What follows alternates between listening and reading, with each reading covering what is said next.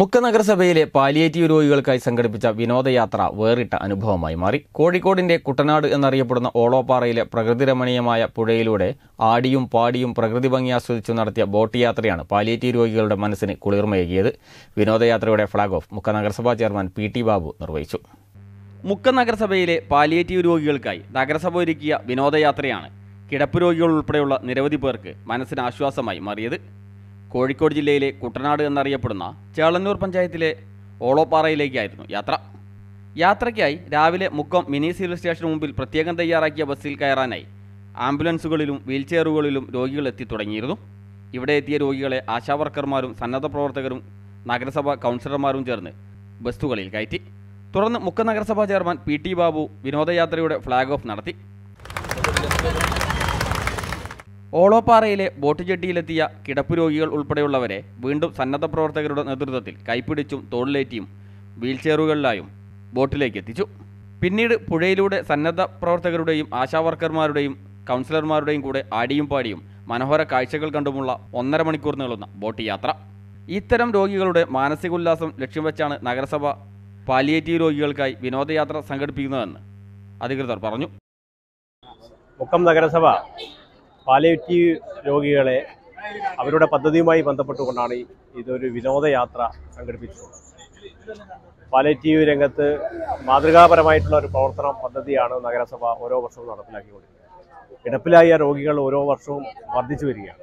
അതുകൊണ്ട് അതിന്റെ ഉത്തരവാദിത്വം നഗരസഭ എന്ന തലത്തിൽ നമ്മൾ ഏറ്റെടുത്തുകൊണ്ട് നടത്താനാണ് നമ്മൾ ഉദ്ദേശിക്കുന്നത്.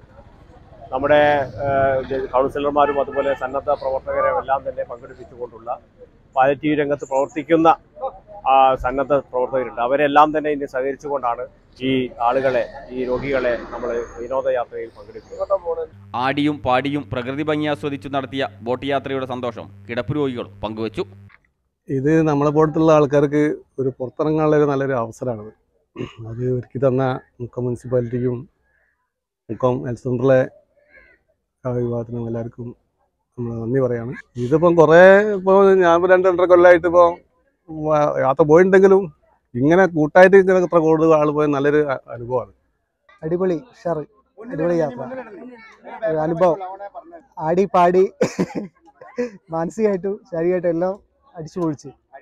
യാത്ര സുഖകരമായിരുന്നു അടിപൊളിയായി ബോട്ടിംഗ് യാത്ര നല്ല സുഖമായിരുന്നു. എല്ലാവരെയും കാണാനും പറ്റിയല്ലോ. ഹാപ്പി. സന്നദ്ധ പ്രവർത്തകരും നഗരസഭാ കൗൺസിലർമാരും ഉൾപ്പെടെ നൂറ്റി മുപ്പത്തിനാല് പേരാണ് യാത്രയിൽ ഉണ്ടായിരുന്നത്. യാത്രയ്ക്ക് നഗരസഭാ vice chairperson advocate K P Chandini ആരോഗ്യ standing committee chairperson Prajitha Pradeep വിവിധ ഡിവിഷൻ കൗൺസിലർമാർ തുടങ്ങിയവർ നേതൃത്വം നൽകി.